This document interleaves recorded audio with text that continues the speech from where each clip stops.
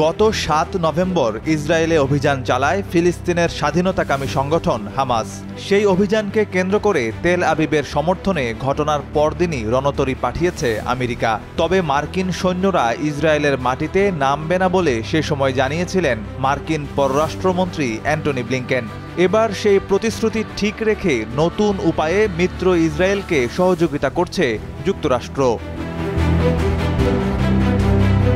সংবাদ মাধ্যম সিএনএন জানিয়েছে, ইসরায়েল হামাস সংঘাতে ইরান কিংবা হিজবুল্লার মতো শক্তিগুলো যেন না জড়ায়, সেজন্য ইসরায়েলি জলসীমার কাছে দুই হাজার সেনা মোতায়েন করতে যাচ্ছে যুক্তরাষ্ট্র।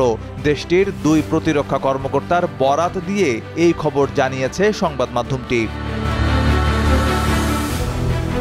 মার্কিন সংবাদ মাধ্যমের প্রতিবেদনে বলা হয়েছে, ওই দুই কর্মকর্তা জানিয়েছেন, দুই হাজার মেরিন ও নাবিক নিয়ে গঠিত যুক্তরাষ্ট্রের র্যাপিড রেসপন্স ফোর্সকে পাঠানো হচ্ছে ইসরায়েলের জলসীমার কাছে।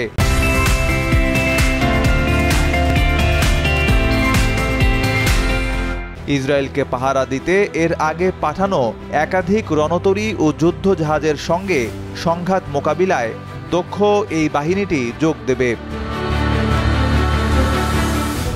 কয়েকজন মার্কিন প্রতিরক্ষা কর্মকর্তা বলেছেন, রোববার সন্ধ্যায় মার্কিন প্রতিরক্ষা মন্ত্রী লয়েড ওস্টিন প্রায় দুই হাজার সেনাকে ইসরায়েলে সম্ভাব্য মোতায়েনের জন্য প্রস্তুতির নির্দেশ দিয়েছেন।